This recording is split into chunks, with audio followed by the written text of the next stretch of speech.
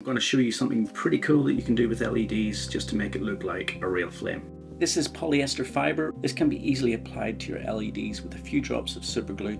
We only need a small amount, trimming it down with scissors until you have something that looks more or less like a flame.